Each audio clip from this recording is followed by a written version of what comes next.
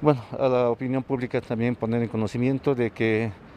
eh, se ha emitido el decreto departamental 218 y con relación al transporte interprovincial intermunicipal también se ha hecho una, una alusión muy específica en su artículo sexto que dispone que si bien el municipio de Potosí, como jurisdicción municipal, ha dispuesto el encapsulamiento desde el 7 hasta el 14 del presente mes, pero también no es menos cierto de que hay una necesidad entre los otros municipios que también son del departamento de Potosí, la necesidad de poder ya empezar a operar lo que es el transporte intermunicipal.